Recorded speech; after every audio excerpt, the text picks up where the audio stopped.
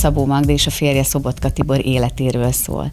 Tehát egy olyan est, ahol Szabó Magdát, mint nőt, mint feleséget, mint egy vágyott édesanyát ismerhetünk meg, hiszen nekik nem lett gyermekük.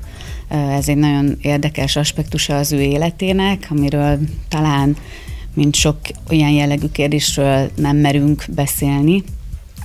Ebben a darabban elég sok ilyen dolgot is és hát bemutattunk, vagy legalábbis meglévő dokumentációk alapján megpróbálunk a nézők elé tárni, aztán mindenkire van bízva, hogy, hogy miként viszi ezt tovább. Mivel nagyon valóban emberközpontú, tehát nem egy megfoghatatlan ikonról, hanem az emberről szól, és két ember kapcsolatáról, ezért nagyon meglepően jól fogadják az emberek, és mindenki megtalálja azt a pontot, azt az érintkezési pontot, ahol ő kapcsolódni tud ez a két figurához, hogy valóban nem egy írónőt és egy írót látnak, hanem két embert, akiknek ugyanolyan e, problémáik vannak, e, hétköznapi problémáik, mint bárki másnak, egészen a párkapcsolattól, a munkától, a sikertől, a bukástól, a gyermekvállaláson keresztül, e, ami, ami egyszerűen követhető, és ezt nagyon, nagyon jól szokták fogadni a nézők.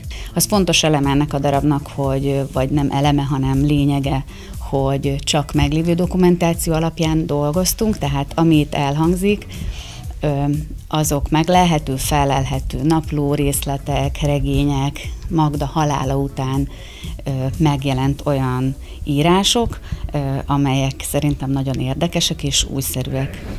Ketten vagyunk. Ha szeret, elég kell legyen az, hogy én vagyok az olvasó. Ketten vagyunk. De milyen ketten? Kettebben már nem is lehetünk. Hozom a krumpli levest. Várva. De ne várj! Te írj! Nyuszi!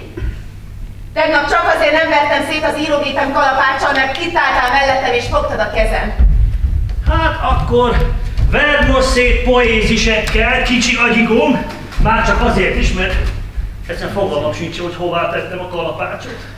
Kicsit azt mondom, hogy olyan, mint egy, mint egy irodalmi valóságsó, hiszen a lakásukba, az életükbe, a mindennapjaikba, a reggeleikbe, az estékbe, a kudarcékbe, a sikereikbe kapunk egy kis betekintést. Én nem ismertem sajnos őt személyesen, de nagyon ö, sok interjút néztem vele végig, nagyon sokat olvastam tőle, és tényleg, tehát hogy ez egy ajándék nekem, hogy én őt, őt játszhatom egy nagyon-nagyon tehetséges fiatal színésznő játsza Szabó Magda ö, szerepét, és hát a, a nézők számára különlegesség pedig az, hogy a darab végére, mint hogyha tényleg Szabó Magda beszélne hozzánk, ha becsukjuk a szemünket, tehát mind intonációjában, hangjában sikerül visszaadni a Krajcsi Nikolettnek azt a kellemes és hihetetlen orgánumot, ami egyébként az ő személyiségéből áradt, és ezért szerették sokan hallgatni őt egyébként író-olvasó találkozókon.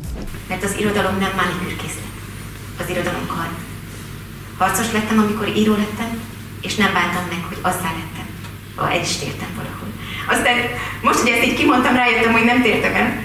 Teljesen azonos vagyok a családi képlettel.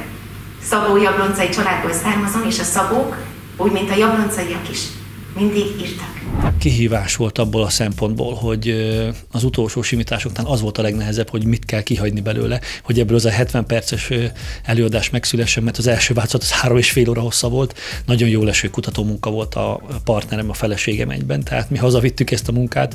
Nagyon nagy élmény volt elmerülni ennek a két embernek a világában, a gondolataiban, a mélységeiben és a magaslataiban. Úgyhogy gyakorlatilag az volt utána a legnehezebb, hogy mi az, amit úgy tudunk kihagyni, hogy mégis egy kerek egész történet legyen. Az egész egy csodálatos utazás volt. Szokták utána mondani, hogy, hogy hitelesen visszaadtam azt, amilyen ő. Nagyon örülök neki, mert ez volt a cél, tehát hogy alapvetően az előadásban, előadás egészében nem akartuk őt utánozni, tehát nem akartunk mi úgy csinálni, mintha mi lennénk ők tényleg. De a végén van egy interjú, ami vele készült, és ott volt az egyedül, amikor, amikor szerettük volna, hogy egy picit visszakapjuk azt, hogy ő milyen is volt, vagy hogyan beszélt, hogyan, hogyan kommunikált.